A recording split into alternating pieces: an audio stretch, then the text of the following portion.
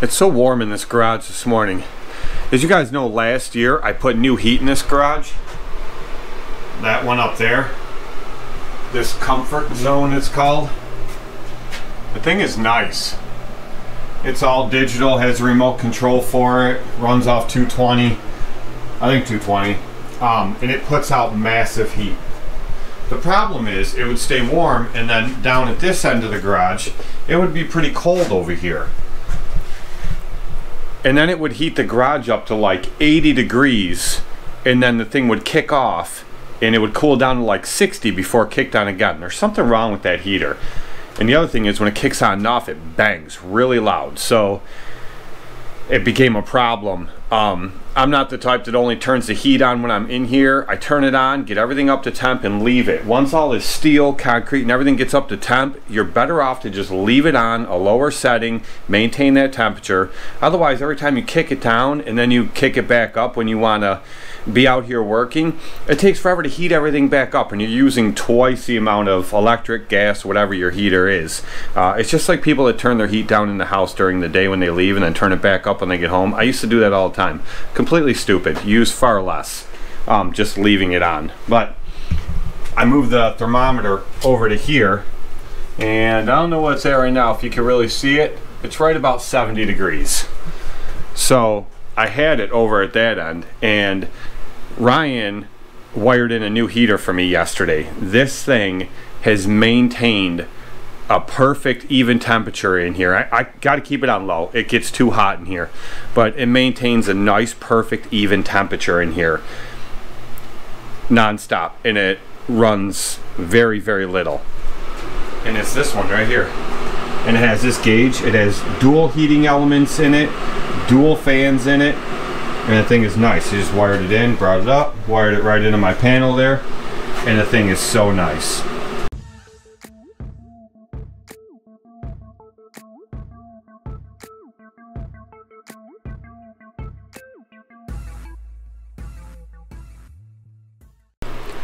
So anyway, on to today's project. The project for today, this walker. So I have some grease fittings that I have to take out and replace in this thing because they just they've gotten wet and they rusted over and the little ball that sits in the end of them um, they just rust up. You can take a little punch like a little um, I don't know a little poker whatever you want to call it and you can tap the end and sometimes you can get that ball to break free and then it springs back up because there's a little spring under them and uh, and they'll start taking grease again but a lot of times you'll knock that ball in and it won't come back up. So uh, they just don't work the right way. It's easier just to take them out and replace them. But let me show you the big thing. This guard here for this exhaust. Now, I've always been a believer that they should redesign this. It looks nice. It's a nice looking guard. It does the job, but there's not very much clearance between this guard and the muffler itself which allows leaves to get in there and that's a common problem you'll hear guys talk about that use these walkers for leaf cleanups they get leaves stuck in there and they start on fire i've never had them start on fire i've had them smolder and start smoking but i've caught it in time and you know blow in there with a with one of the blowers and blow all the leaves out of there and the problem's gone. I've never actually had a fire. But anyway right here see if i can show you that there. Right here there's a crack down this side. See how it moves like that and that piece cracked. And it's been like that for about a year. I never really addressed it. Um, I don't know how to weld aluminum to be honest with you. Um, my welder is more than capable of it. I just have to get what's called a spool gun for welding aluminum. I've never tried it. But at the end of the season it also broke off right here at that end. Now I could just buy a new one but you guys know me and I'm all about fixing things. So I looked it up on YouTube, of course, and found different ways of trying to fix this. My original thought was, I wonder if I could just solder it, and I wonder if it'll actually hold. Um, but I wasn't really sure. So anyway, the more I looked up on YouTube, the more I kept seeing this. Instead of using regular solder, these are brazing and welding rods for aluminum and that's exactly what they're designed for and they're designed for automotive purposes uh, things of that nature. So it's supposed to hold really strong and do a really good job. I thought of JB welding it and all that kind of stuff but I'm really curious and I want to try this. So uh, my bottle is empty here. I went and bought a new bottle. Um, I, I got the MAPP gas because this stuff burns a lot hotter if you guys know I'm talking about. You have this one here which is like regular propane and then you have this one here. Again it's like regular propane.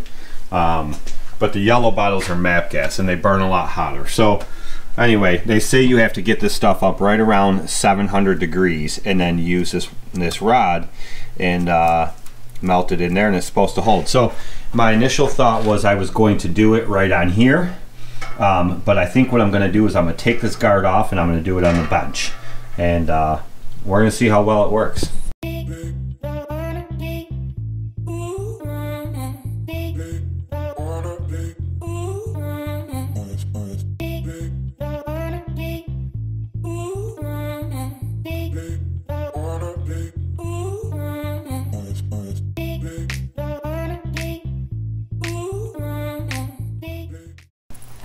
Now I don't know that you have to clean this metal up in order to do this, but I'm going to treat it like it's anything that I weld.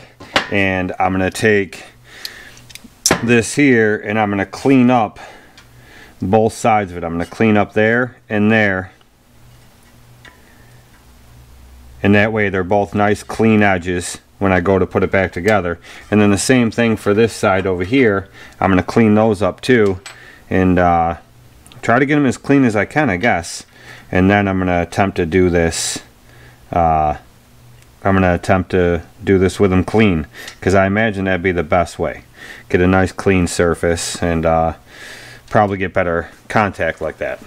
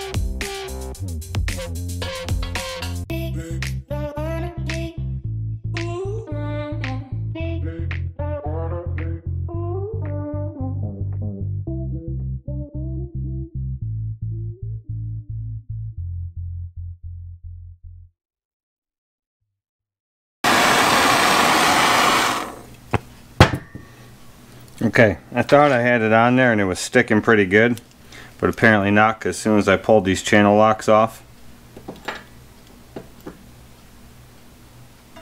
it came right off. Okay, so plan B. This isn't working the way that I thought it would, and I have my temp gauge here, and I think the problem is I'm not getting it all the way up to 700 degrees, but it's not working, and I replaced the batteries in it, and it's still not working. I don't know why. Um, I think because the kids used to play with it all the time to make the cat chase it around, but whatever. For whatever reason, it's not working. So I did happen to find this strip of aluminum that I had just laying around in my scrap steel pile actually. And it is the exact width of this top piece. So I'm going to measure it. I'm going to cut it drill a couple holes in use some small quarter inch bolts to hold it in place drill my holes in each end. Done. Is it kind of rigged? Yeah yeah, a little bit. But it'll do the job and you'll never see it because the mount is behind anywhere where you can see looking at this mower. You'll never see it, it'll be functional and it'll do the job. And sometimes that's what you gotta do. Cause I looked this bad boy up and this bad boy is not cheap. So if I can just cut this, put it on there, you'll never see it. I'll be the only one that even knows it's done that way. Finished. Then I can get on to the next project.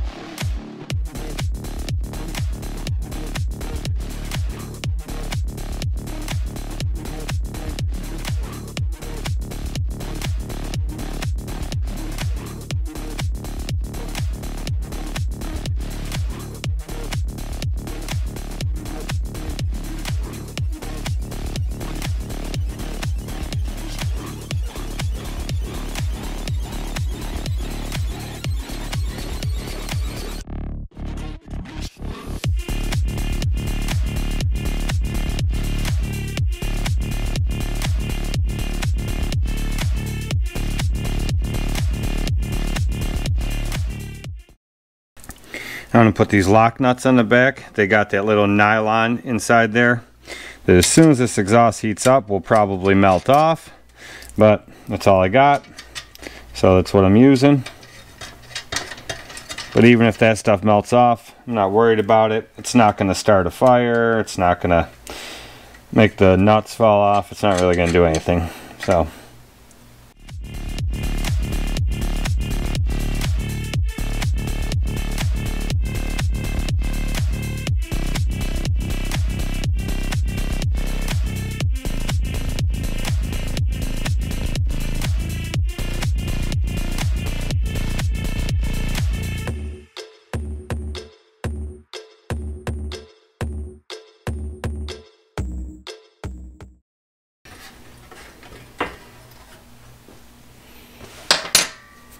go. Now that's on there. Shouldn't be any problem at all. I just got to drill my end two holes for it to, uh, for the bolt to go through. And this thing should be good to go.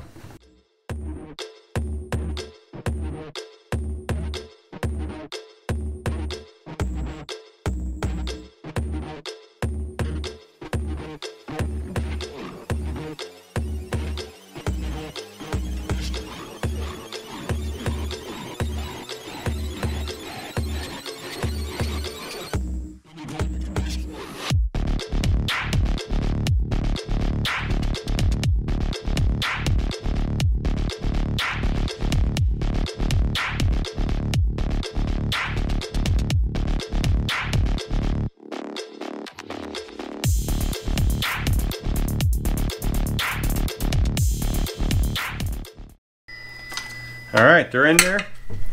Nice and tight, no rattling, no movement. That might be better than it was originally.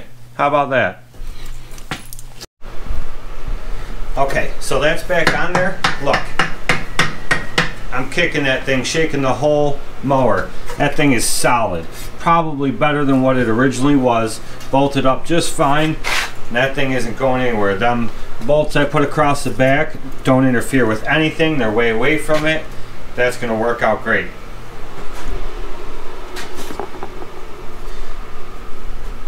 Now let me just show you guys. Okay, Walker Parts Depot heat shield muffler for MT and that's what this is. See right there, $71.41. So $71.41 for, is that what it was? 71.41. Let's just add it to cart and see what they say. Um, okay. Uh, agree and check out. Do do do. Um, I have an existing account. We'll go ahead. What I do is uh, I try to get as much as I can from the dealer.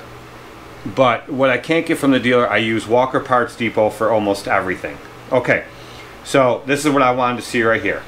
So $71.41, $14.33 for ground. That's slow UPS ground shipping. You can have it overnighted, but $14.33 for ground. Total $85.74. That's what that would have cost me. $85.74. And I fixed it with some scrap aluminium, some scrap aluminum laying around. Now this piece here is just um, 1 16th inch by 1 inch by 6 foot piece. And I think I paid, I don't know, $4 or something for this from Home Depot. And that's all it was. So this and uh, a couple of quarter inch um, bolts and nuts and that thing is back together. This probably, with the little chunk I took off here, the couple uh, bolts and uh, lock nuts that I put on there, I don't know, three dollars maybe. This just cost me to fix versus 85 something. I'd have to wait for it to come in. No big deal. I'm not using this mower till spring, but if you ran into that problem during the year, you'd have to fix it. So, and you'd have to fix it quick to get back up and running. So that's the difference, and that's why I fix my stuff versus just ordering parts all the time. I have to do that in some cases, but if I can fix it, I'm gonna fix it. Okay, so these are the three grease fittings in question. There's everyone knows on Walker mowers, not everyone, but if you run one or if you've watched any of my videos, you know there are a ton of grease fittings on Walker mowers. Now, I have three that have given me issues with taking grease. Um, this being one of them, and for some reason, that's like smashed over on the end. I don't even know how that got smashed, but it's that one there. This grease fitting back here, I don't know if I can really point to it. This one right down there, that one gives me issues. Um, there's one more down there lower, so I guess there's four. So there's those three there, and then this one right here. That is a pain. Getting down there with a grease gun, you wouldn't think it was a big issue, and it really shouldn't be, but for some reason, it's always a pain to get down on that one. And then that one has not taken grease the last two times I've tried to pump grease in. So what I'm going to do is I'm going to replace them all, but this one here, when I take it out, if I have one in my set, I'm going to get one of the angled styles so that the Zerk fitting, the grease fitting comes out this side. So I can just stick the grease gun right in there and uh, take it out that way. There's everybody's going towards greaseless machines nowadays. I hate that. I'm not a fan of greaseless machines. I never have been. Um, a lot of people prefer it because they don't have the maintenance of it. But to me, I'd rather grease it myself and know that there's grease in it. Okay, so that's all done. Grease fittings are done. I had a hell of a time with the grease fitting down there. It goes to the pulley for the uh, blower for the turbine. There's a spring that wraps around it and the spring was right against the grease fitting so you couldn't get onto it. And then I put the blower lockout kit I did last year. If you guys go back and look to my videos, I did a full video, the only one on YouTube about how to install one of blower lockout kits when you're switching from a bagging deck to a side discharge deck. You want to shut that blower off. But uh, so that was all in the way. Now to disassemble that whole unit to get that grease fitting out of there to put in um, a better one. I'll show it to you if I can find that damn thing here. Here it is right here this was the grease fitting that was in there but it was angled in a way where the one side was up against the spring so you couldn't get the wrench on it to get it out of there and the other side was angled toward uh, the main bar and the lock the blower lockout kit. So it uh, it was I was unable to grease it and so I had to take that all apart and put in a different angled grease fitting so I can get a grease gun on it and grease it up. So um, that was a nightmare to do. But I got everything else greased on it. Um, this thing's done for now. Everything I wanted to do to it for this winter. I'll change the oil in the spring when I pull it back out. But this thing is uh, ready to go for another season. So let's go put this thing away.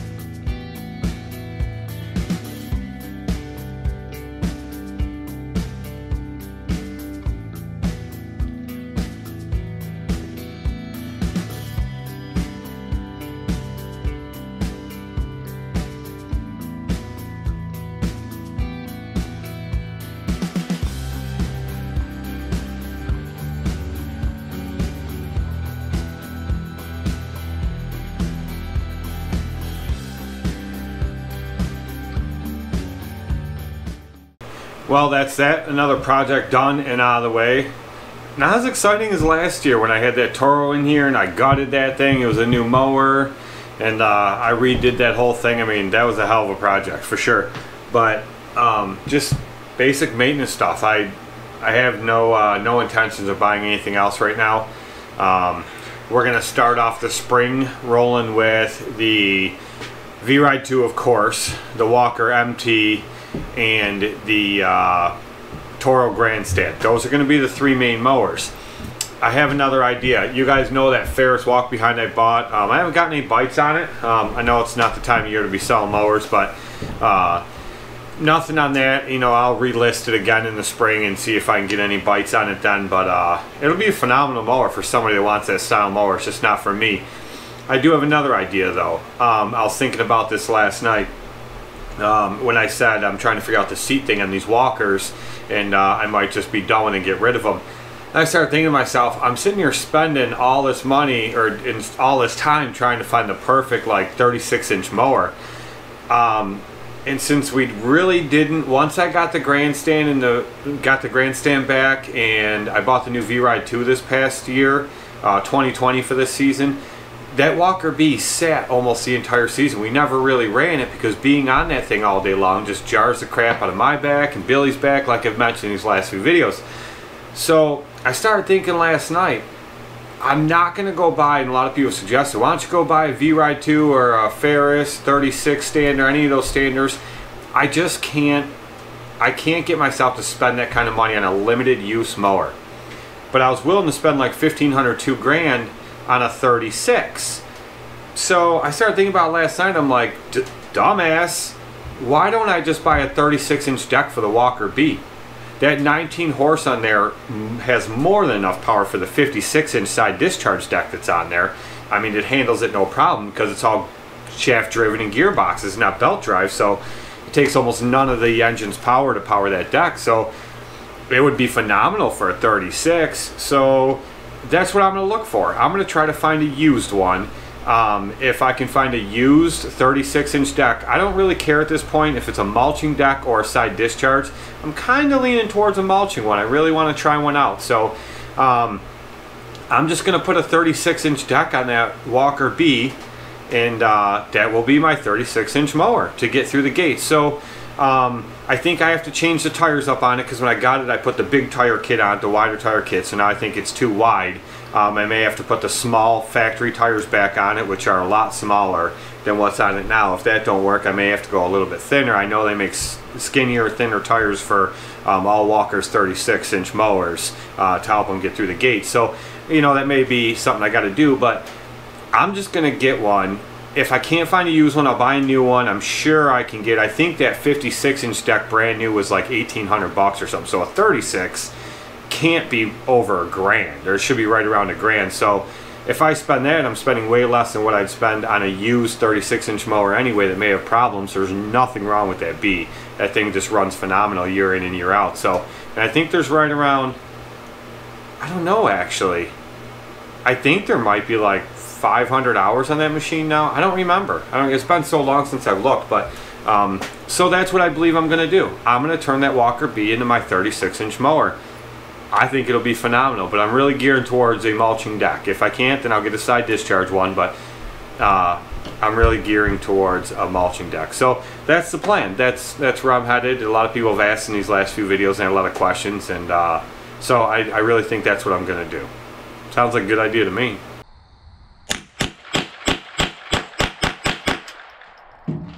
Make sure you hit the subscribe button, leave a thumbs up, and comment if you want to. You don't have to, but if you want to, you can. We'll see you in the next one.